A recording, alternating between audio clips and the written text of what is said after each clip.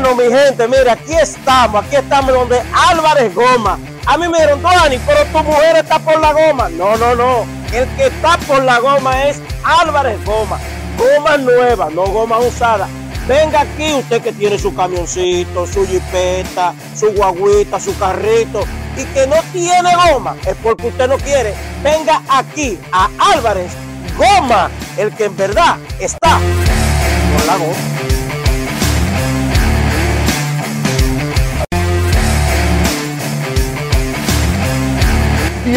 Es que esto es el planeta de las gomas.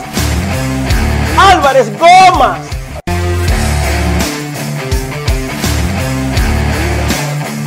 Goma de camiones, de jipeta, de carro, de todo lo que usted quiera. Álvarez Goma.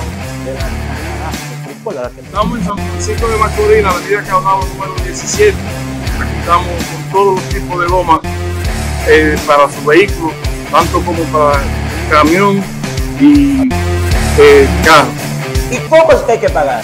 Págueme como usted quiera. Así no, con transferencia o efectivo.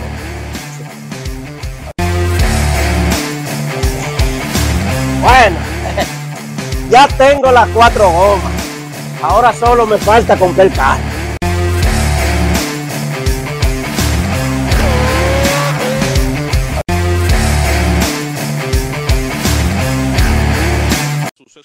Como eso, un accidente de tránsito, ¿ustedes qué sospechan realmente? Nosotros no nos, no- no- nos comunican mi hermano que quedó vivo, gracias a Dios, mi padre, de que ellos venían siendo perseguidos y por tal razón mi hermano aumenta la velocidad del vehículo y en una curva eh, lamento- lamentablemente eh, perdió el control mi hermano por la velocidad, por la persecución que entendían, porque la gente sabían y hay como hay algún informante que sabían que ellos llevaban valores ahí dentro y era una persecución. No sé cuál era el motivo, si era para que murieran o solamente era para sustraer nuestro dinero. ¿Sabes cuántas personas más o menos perseguían al vehículo en el que se trasladaban? Nosotros, nosotros vinimos aquí eh, a la Policía Nacional, eh, entendemos que la jurisdicción es Monte Plata, pero sin embargo, por la, tratón de- por la razón del caso tan especial, hemos venido aquí al Departamento de Atención de la Policía al Ciudadano y hemos recibido la negativa de la comandante del Departamento de Robo, eh, la mano de la coronel Cecilia. Nosotros entendemos que para poner una denuncia eh, sobre un desconocido, como no se tiene a nadie, no podemos, no podemos señalar a nadie. Sin embargo, ella dice que no puede recibir la denuncia porque debemos hacerlo por la Fiscalía. Nosotros estamos aquí a la espera de- del, del- del coronel Pesqueira, que esta, esta tarde estuvimos en su despacho para salvaguardar la vida y explicarle las situaciones por las que está atravesando tanto el señor Wicken, el presidente de 3.14, como su familia, donde se perdieron dos vidas. Y estamos aquí a la espera para que nos reciban la denuncia, porque de aquí nosotros no nos vamos. Ya se perdió el dinero, ya se perdieron dos vidas, ahora tenemos que garantizar la vida. Nosotros en esta actitud, en esta actitud que estamos, hacemos responsable al sistema bancario de este país y al Estado de este país por no brindar la garantía y la seguridad de 3.14 y de Wilkin García. Es tan tal así que venimos aquí a la Policía Nacional de la República para sobreguardar la vida de Wilkin, sabiendo nosotros como abogados dónde que nos lo toca ir, pero es un ciudadano, no tenemos, no tenemos gente identificada para acusarla.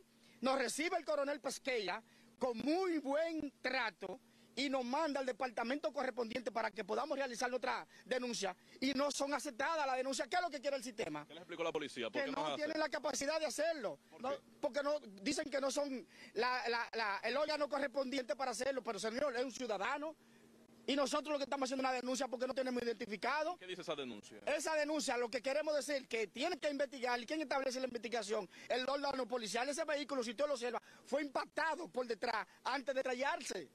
Y fue saqueado totalmente. Pero aquí el problema no es el vehículo, ni que lo que se fue saqueado, fue la vida humana que se perdió. La madre que le da educación y libera a este señor para ser la persona que es hoy.